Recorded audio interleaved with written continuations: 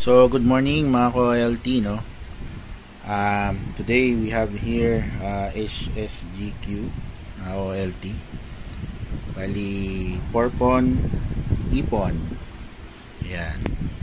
So, today, papakita ko sa inyo paano buksan, ano yung nasa loob nitong OLT na to, at paano natin siya i-upgrade. Yung uh, power supply niya, tatanggalin natin. So, convert natin siya into 12 volts.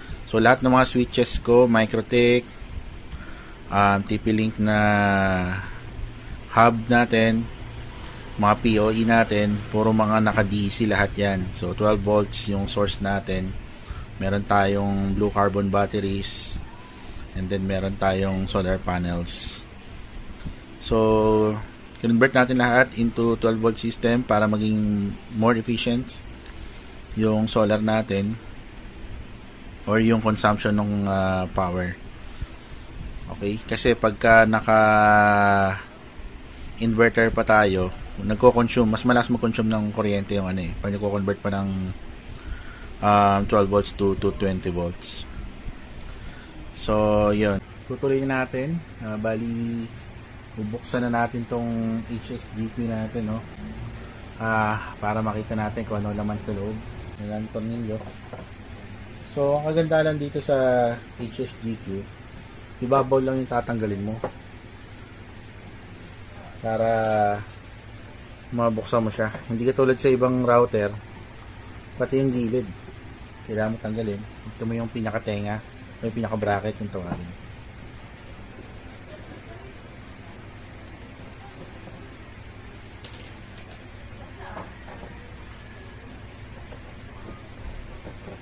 Okay, so ito na, the moment of truth. Buksan na natin siya. Sa so, mga di pa nakakita ng laman ng uh, OLT nila. So, ito na. Charing! So, ito yung loob ng OLT natin.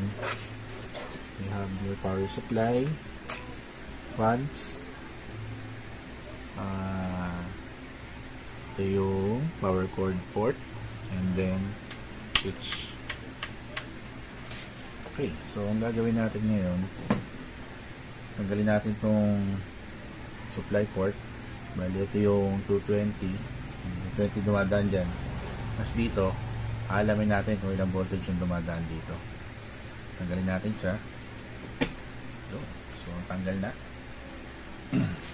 So gagamit tayo ng multi-tester mga OLT para ma-measure natin yung voltage reading niya mamaya.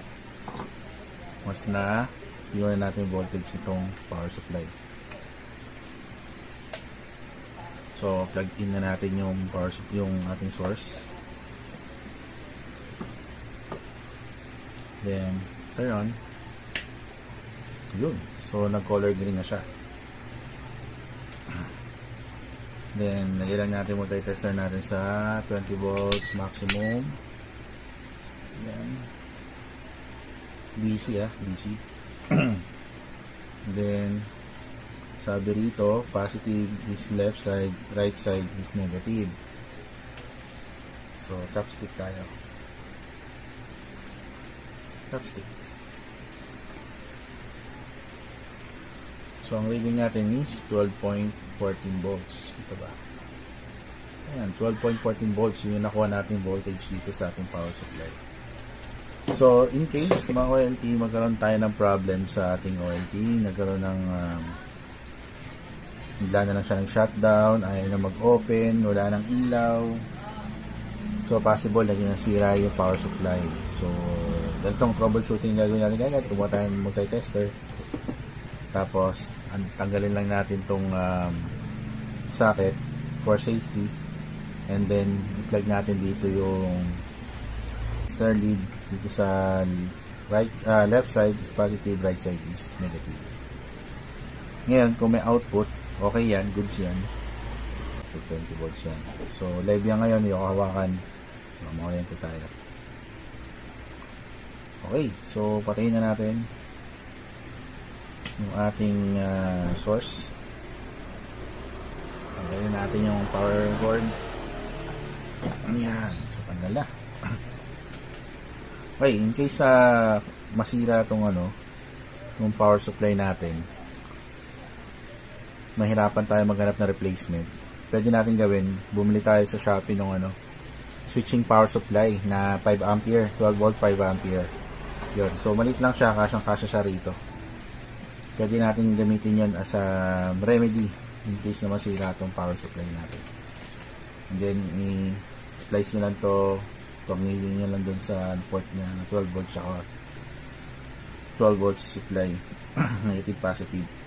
So gagana na ulit itong OLT natin. Okay so ngayon um, question is saan natin padadaanin yung wire or speaker wire nito?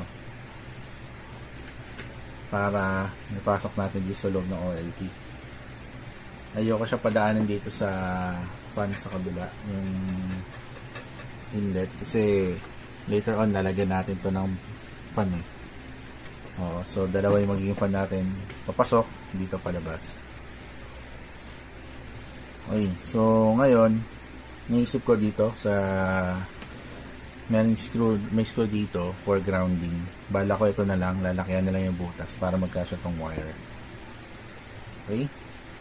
So gagamit tayo ng drill at saka reamer Ayan, para magkasya siya. Okay so gawin na natin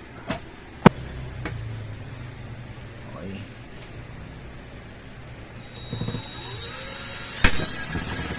pinutas natin ito siya ito lang ang butas yun so pasok na yung wire natin. Pwede na. Okay.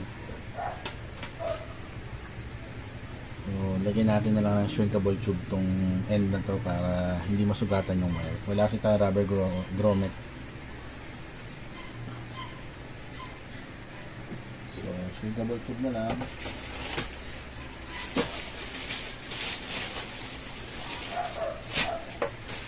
meron tayo dito shrinkable tube.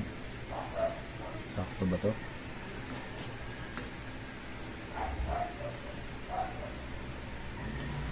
Para lang magkaroon ng mong dagdag protection ayun sakto yung shrinkable tube natin. Mga dalawang patong para sigurado tayo hindi masugat ng wire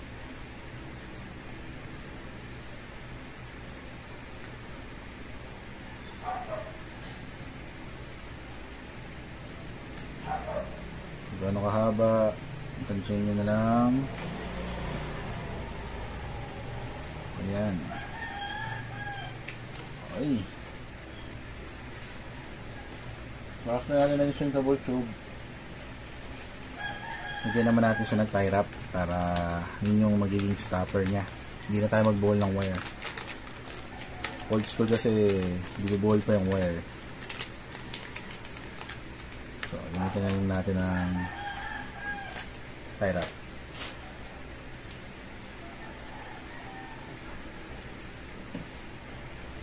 Pasok natin yung wire dito.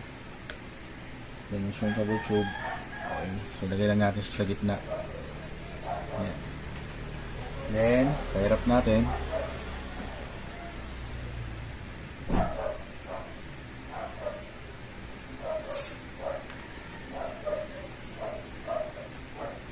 Ayan, para hindi mahugot. Okay. Natin excess. Okay. So, meron na tayo, napasok na natin yung wire para sa ating 12 volts supply. Okay. So, dito naman tayo para natin ngayon ma connect tayo itong wire na ito pupunta dito sa socket. Since nito ngayon, walang ganang mabila ng mga parts at sarado na yung mga tindahan, gumamit na lang ako nitong thing from the ribbon wire. So sinukat ko siya kanina. So, pasok. Ito lang gagamitin natin. So patuloy natin banda rito siguro.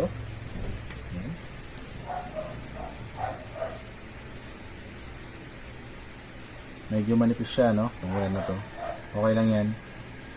Um, mixi na lang yung gamitin natin. Parang di minute ayun naglag gamit tayo yung kabal tube ulit okay. so twist lang natin yung wire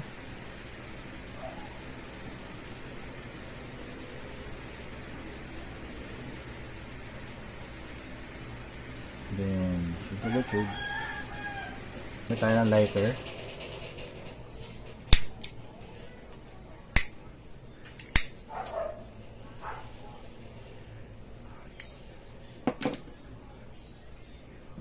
Again, bila.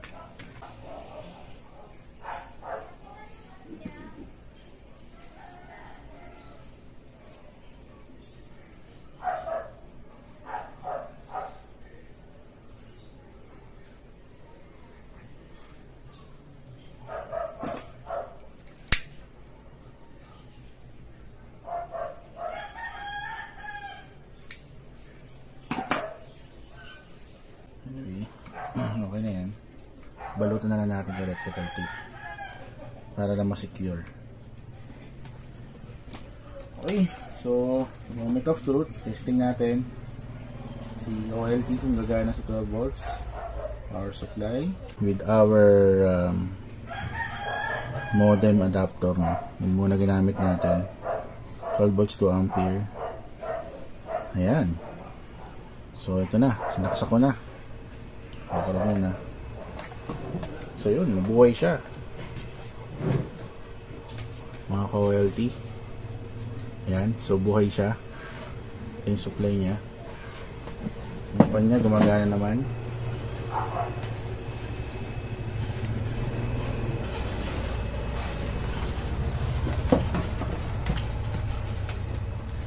So yun, successful yung ating uh, conversion from 220 volts to 12 volts.